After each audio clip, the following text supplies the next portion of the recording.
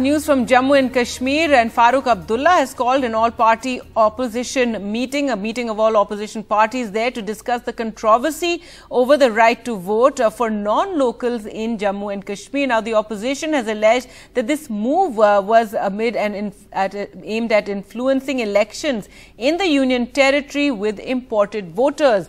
Uh, Jammu and Kashmir's uh, chief electoral officer had said that after the abrogation of 370 non-locals working or ordinarily living in Jammu and Kashmir can now register as voters and after a revision of electoral rolls, over 20 to 25 lakh new voters would then be added to the electoral rolls. But then after the controversy that the Jammu and Kashmir government issued an advertisement in local newspapers and, in, in which they claimed uh, that this additional 25 lakh voters that was being uh, talked about as uh, was a misrepresentation of facts uh, spread uh, by uh, vested interest, though it was the chief electoral officer who had said that 20 to 25 lakh voters uh, could be added. Let's go across to Nazir now. Nazir, so opposition parties, they're meeting over this issue and there's, there's also been another issue in which this uh, figure of 25 lakhs, it, it, the government saying that it's being spread by vested interest, but it was uh, spoken about by the chief electoral officer.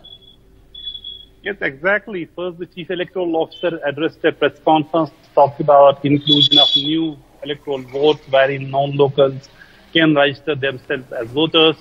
Uh, yes, there are technicalities, there are requirements, there are needs proof, there are all all the formalities which are required. But it became a major controversy even as the government has issued a clarification, talking it, saying it is a misrepresentation of facts and it is being spread by vested interest. So the political parties, they see it as an attack on the uh, local population by importing voters and influencing elections. Farooq Abdullah called all party meeting in Srinagar. Sajjad addressed a press conference. We know uh, Apni party, Altaf Bukhari also held a press conference. So did Muzaffar Beg and then BJP is also holding a meeting. Overall, if you see, uh, there's lot of you know activity in political uh, among the political parties in Jammu and Kashmir. Uh, some are defending it, like the BJP. They are saying these people are frustrated.